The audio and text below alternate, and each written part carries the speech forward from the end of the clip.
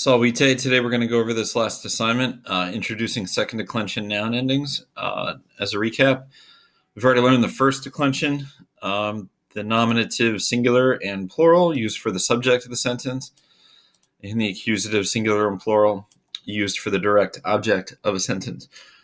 Okay, and then typically first declension nouns are feminine. second declension. Okay, second declension has two different nominative singulars, uh, more common US, uh, but some words like the word for man and boy end in R, but they all end in I in the nominative plural. Uh, accusative singular um and accusative plural os. All right, and then we typically use the second declension for masculine nouns.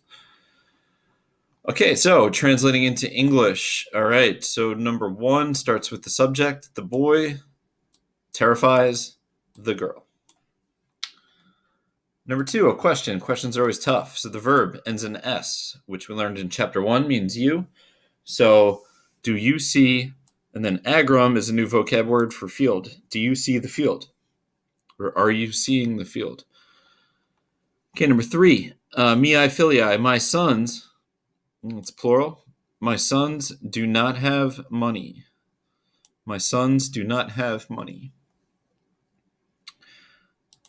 All right.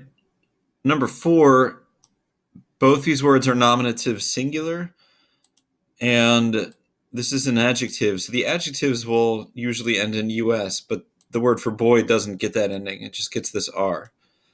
So the Roman boy is greedy. The Roman boy is greedy. Number five, um, that just R should jump out to you as the subject. The man calls, oops, the man calls the woman. Okay, accusative singular. The man calls the woman. Okay, number six, uh, first word is accusative, so we do not want to start with that. Um, we want to look at the verb, and so the verb ends in mus which should translate as we. So we terrify the men. We terrify the men. Number seven, uh, the farmers. That's your subject. It's plural. And then your verb, have. And then these two words go together. All right, you can see by the OS. And I've, I've said before, if you can tell two words go together, it's sometimes helpful to put parentheses around them so you can kind of visualize the sentence. But the farmers have many fields. The farmers have many fields. Okay, number eight. The boy, subject, gives a rose.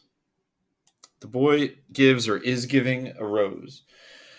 And number nine, in my country, in my country, we have greedy men. Okay, so this is what's called a prepositional phrase. In is a preposition. They're usually just two letter words in Latin. Um, and we don't know what this A with a long mark is yet. Um, but what it is, is it's called the ablative singular.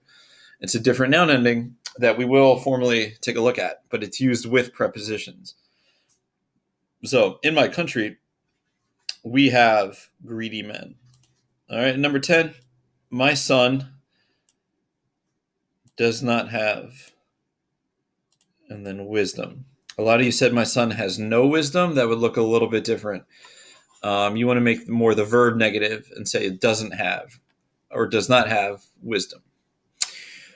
All right. Thanks for tuning in. Don't forget to hit subscribe and uh, Valete.